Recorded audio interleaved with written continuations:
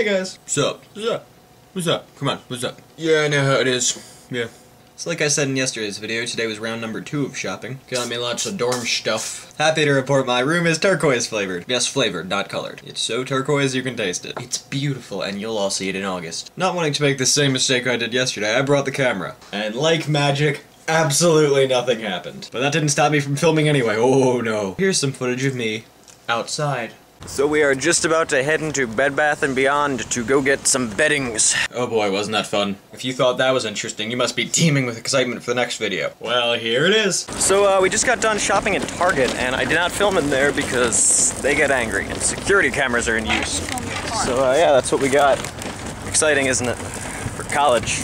It is scary how much fun I am. Oh yeah, I also ordered my laptop today. I believe I'll do an unboxing on the channel when the time comes. I do know one thing though. It'll be beautiful. Speaking of beautiful, I've got to go edit this and stare at myself for an hour. See you tomorrow, guys.